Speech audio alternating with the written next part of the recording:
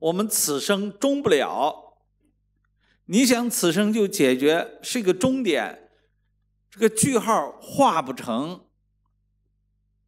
前面的课程也给大家引导了，那么你的肉体是此一生，你的灵是否此一生？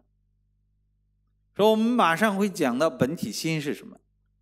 今天我们是上一堂课讲到第八意识，我们会顺着讲。那么很快的第九心就要开始呈现出来了。那第九心你要完全能够进去使用这个。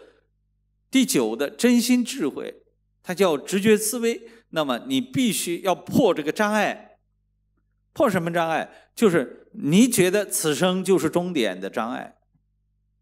终极智慧就是我最后，嗯，不再来了，没有生死的，我了了生死的。那这就叫终极，就是这个了生死的是你的灵。不是你的肉体，也就是你不会死。你此生结束之后，你绝对不会死。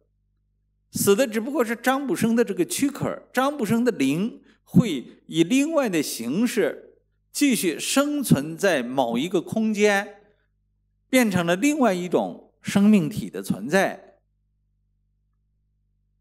我们研究终极智慧的人，一定要突破这一大障碍，也就是终极智慧的教学。它是不是我们显代世界的教学？不是我们肉眼可见、仪器可测的世界的教学，而是更重视百分之九十六世界的教学。当你们学到第九真心的时候，你会使用它的时候，百分之四的世界的事情对你来讲，那就是如烹小鲜也。老子在他的经典中讲，就像煮一道小菜儿。那么容易，治大国如烹小鲜儿也。